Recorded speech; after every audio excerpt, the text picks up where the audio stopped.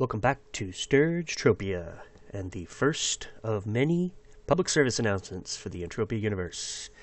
I'm, uh, I'm out here past Odysseus Landing, heading over to my favorite spot to hunt uh, my daily Gibnib challenge, 50 Gibnib. But uh, I want to show something that uh, about fruits, rocks, and dung that they do actually. You can actually find them over and over in the same location uh, on the same day. Now, maybe not after reset, but uh, you could always find them in the same location, even if you teleport, die, log in, log out. So uh, here I am, just killed my first Gibnib, and I'm going to show you. I, I find a Paplon here. Well, I stop. There it is. First Paplon. That guy right there. We're going to put a waypoint down for that in just a little bit, and uh, go on from there. Let's. But this is. Uh, I'm going to show you. This will be the first one, and then let the second. Uh, I'm hunting over here. I got a Hiru and I find a second Paplon. Now, I've only killed 16, about 15 more of the Gibnibs.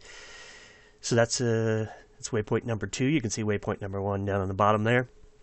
Waypoint number two will be this Paplon, and we're going to come back to it after four more kills, just to demonstrate quickly. Yes, it's still there. So that's just the first demonstration. There are multiple demonstrations to come. Let's go to the next first waypoint. Waypoint number one, this one's a little more tricky. Uh, it doesn't appear right away. Uh, it doesn't render very quickly. So uh, I have to wonder to myself, what is wrong? But I know it's there. Uh, it's just a little slow. So this Chirpy over here is going to help me find it. He's going to come right over, and then I'm going to shoot him after that, uh, even though it's not part of my challenge. He's going to find the Paplon for me right there, and I kill him, and I'm going to teleport out uh, to the nearest revival point and then we'll fly back, or we'll log out, then fly back to our same spot there. So let's get over here. We'll uh, run around a little bit. I do actually a little bit between. I'm editing a ton of video here. And then I will log out and log right back in to the Find Entropia universe. And let's get going. That's logged out, logged back in. Those things should still be there. You'll you'll note here in a few seconds after uh, I launch my craft. There's a waypoint. Well, I did myself a favor before logging out. I made myself a sticky, a little sticky note that had the two waypoints in them, and I clicked on them. Uh, that's why those are still those are there. So keep that in mind, just so I can come back and find these particular Paplon locations.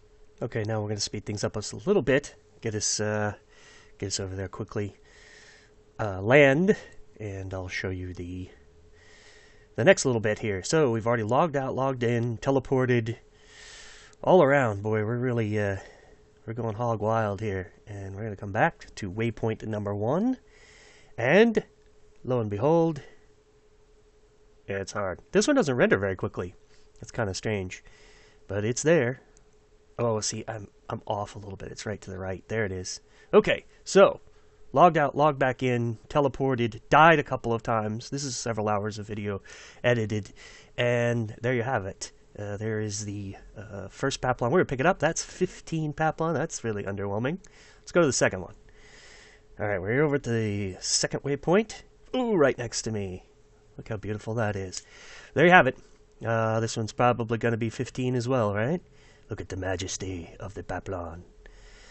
Let's pick it up and uh, and be underwhelmed. 15 it is. So, now you know, you can always find your fruits, rocks, and dungs. Even though I'm not showing rocks or dung in this, the, uh, the same applies. You can log out, you can run around, you can die, you can do all these things. I'm guessing it doesn't work for reset, because those particular points will be, will be gone, they'll be cleared but it does work for just in gameplay over several hours. This is probably about two hours worth of gameplay. I've edited down to about uh, five minutes, so thanks so much for watching. Stirge out.